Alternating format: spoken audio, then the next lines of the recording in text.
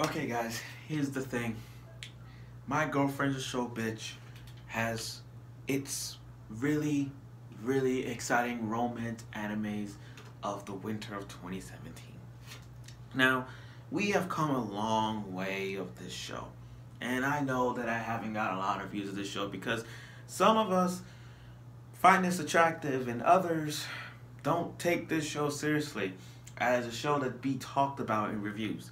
I mean, normally you see clips of all the craziness actions they did in the show, but to do a review of this show, the reason I did this is because I've read the manga.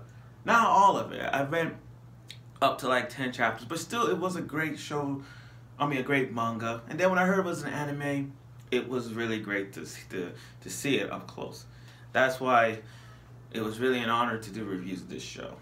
So now, the episode 10 of My Girlfriend's Shobitch is the last and last episode. Granted, if it was two more episodes, I would have said, let's continue on. But at my calendar right here, we are almost to, to the end. And January is going to be tons of great shows that's going to come out next year.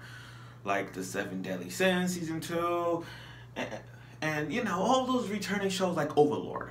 Yeah, there's one like Overlord. But we are we are at the brink right now where the last episode of Girlfriend and Shobitch has been it was really funny. In other words, after nine episodes, what can we make the last episode in their in their efforts to make episode 10 the last episode in an attempt to make it so funny they did it. So in this review, I like to point things out that this show, this episode was really great. Before I begin this whole thing, this episode was really great. It had some funny, this funny, funny misunderstandings and a whole lot of sexual sexual humors. Granted, this is what we beg for. This is what we wanted. Some fan service and a little bit of misunderstandings. Point taken. Now, in the beginning, they really okay. The relationship between Haru and Kosaka's relationship are not in peril, but they both connected. They had a lot of funny moments throughout the entire episode. In episode 10, kicked things off with them in the mall. Now, the thing about this is that there's no way, he, okay, we could tell that this was a dream. From the beginning, this was a dream because he said that he had a vision, vision of how she was supposed to be, and it did. And then he wakes up knowing that he probably got a hard on, which I know he did, because what? How you fantasize about a girl you so much? You actually got a hard on with this. Now, in an effort for episode 10, they did what's what we call it a lot of freaking misunderstandings. For example, studying. Now, we all know that now everybody has a study. People have a lot of studying methods for them. And each individual girl has so much humor in this that makes you want to say, I like her. For example, if you look at Risa San, you know, girl with blonde hair and red eyes, she wants to study the girls. The girls wants to study with her. And by studying with her, we all know what that means. Yuri! Yes. And as for the freaking pervert, the pervert of all, you know, the guy with the red hair and glasses, he's the biggest perv male pervert of 2017. I'll be honest, I can't think of a better, I can't think of a bigger pervert than the guy with the red hair. You know, I really can't think of any perverted than him unless you guys have an idea of who could outrank him as big biggest pervert compared to Jiraiya or Master Roshi. But still, this guy is the biggest pervert that I know of 2017.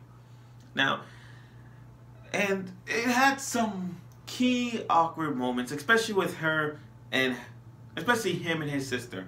Him and his little sister are so entwined with each other that that is that is want to make sure we're not in the Yosuga no Sora incest type bullshit. If you guys watch it, please don't watch it by yourself. Have a pillow and just squeeze like, oh my god. Now, back to okay, back to what I was saying. So they're studying biology, quote biology, but her topic of biology was study the reproduction system. I'm like, that's too much. But as a big brother, he's very nice to his little sister. And the little sister can't refuse the fact that he's so nice. Yet, yet it's so awkward to see her pat her head in the hoodie. You know, so adorable. But she can't deny the fact that he's being too nice. Now, we go into the ice cream scene. Okay. let me be honest. This is an ice cream. And you know, when it comes to ice cream in anime, people no, when it comes to ice cream in anime and a whole bunch of references, we're bound to see anything that is relatable to ice cream and fan service galore. And you know the worst case scenario, you're bound to see shit. So each individual character went to this ice cream store, and this girl with the blonde hair, you know, I, I mean, girl with the brown hair, I don't really know her that well. I don't really know her that well. I mean, she's just a side character, but I haven't known much. But she's friends with uh, the main character's little sister. So she works at an ice cream store, and each character had their own individual what kind of ice cream you got. One wants a mega size cone cup, and that's the perverted girl. She's like, I want a mega size. That's stupid. And then you got the guy, the the freak is he want two popsicles, and he can't hold on one on each side. So we already know what he's trying to do. If I can't sure, but you can see why he was describing two popsicles. And then you got uh, I mean, Kosaka-san, you know, I mean, you got the main girl who wants an ice cream with two mango balls shapes and a banana in a cone with white filling on top. I'm like, but the thing about her is that she takes the relationship way too far, being the perverted she is. Like, she took a selfie of her eating a eating banana, a, a regular banana with two mango balls on it. And then when the banana slipped out of it and into her chest, she took another selfie and just click click on it. And I'm like, oh my god, this is perverted. This is so much. And if you think that's, and if you think that's kind of perverted, the main character himself asks for a, a thing that you pop this and then get the milk come. I'm like, like out of those four, I will say this that the that the one right here, he's more perverted. That he outranked the pervert level of all of them. Now, if you want to talk about a female perverted character of this of this show as the girl with that show her bang that don't show her bangs i'll be honest with you she looks kind of hot. Like i wish they would have showed us to see her eyes like i know this is the last episode but i wish they would have seen her eyes. Like to see what she actually looks like with her bangs underneath. Like come on guys how often do you see anime characters with with big old glasses and uh, and bangs and bangs holding up the eyes. You wouldn't want to see what they actually look like because they could be hotter, and it's true. So she looked at it. So, and she fantasized so much that she got wet in the fucking chair. You know, it's kind of like Geass, where Table Kun, you know, and she got, and you can see all the wetness on that table. But with her, you can actually see the drip on the chair. She fantasized too much. She got wet. And if you want to talk about preventers, the nurse, the nurse made out with a student in the fucking nurse in the nursing room that you hear like, oh yeah, like you hear that, and you know she's doing something because look, she took off her lab jacket. Now, onward to the last scene of the show where we get to see a lot about the modeling. Now, the modeling, you know, they go outside just sketching, whatever. And when it comes to misunderstandings where like you like slimy things or sticky things because it's hot, people get a little bit personal. I mean, not, not personal, but a little bit perverted. And every character has said some dumb shit. But, fear not, because the way how I portrayed this, this model episode, this model scene was too much. Like, you got Risa, you know, posing in the tree and her panties, I mean, her skirt lift up. But luckily, the security guard in the background put a flashlight on it, so it kind of, we can't see anything. But if you guys want to see a lot of those misunderstandings, you can see the uncensored version, the uncensored, uncensored version to look at it.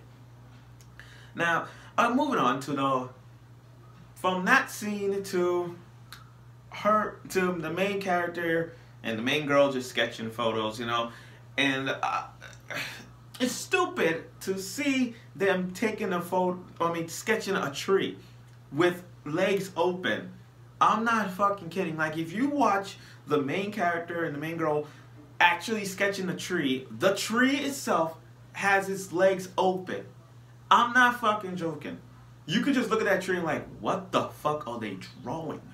And I'm not kidding. You could actually look at it. Don't think of it as just a letter M. Look at it just a person with his legs open. That's how the tree looks like. And then And the last ditch effort, what makes the last ditch effort of this was to have the main character, Haruka, just say to her, I love you. And it just opened up her eyes, knowing that their relationship can be intact. And it was. He actually said, I love you. And she replied back. Of course, it took him 30 seconds to to fix the image, fix the model. But still, it was great to see those two confessing their love once more.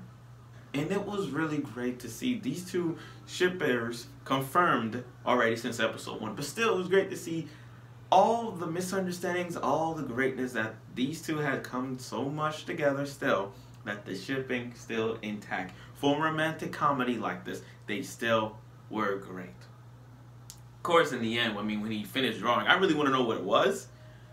I really want to know what the sketch was. If it was bad or good, I wanted to see how well he did. But we couldn't see it because it's probably uncensored version of it. But still. But anyway, this this was their last attempt to make us laugh, to make us feel giddy about it. To have to have the last episode makes it to have I mean to make to make this last episode really in an effort to make it to make us laugh, to make us feel welcome with the show. It really was great. Even though it was 10 episodes in the finale, it still was great to watch. So that's it for now. So anyway, if you guys want to watch the show again, you can. Probably have to gonna have a dub soon, but still, you could watch it. You could watch the 10 episodes of it for if, if you're into romance and comedy. And if you want to read more about it, you could read the manga, which honestly I might go back and reread it just to make sure that everything gets funnier by every second, just to remember all the good times of it. But that's it. So, so again, thank you for watching my chat. Thank you for watching my girlfriend, the Virgin Bitch, ten episodes of reviews of it. I really appreciate it, and I thank you so much for it.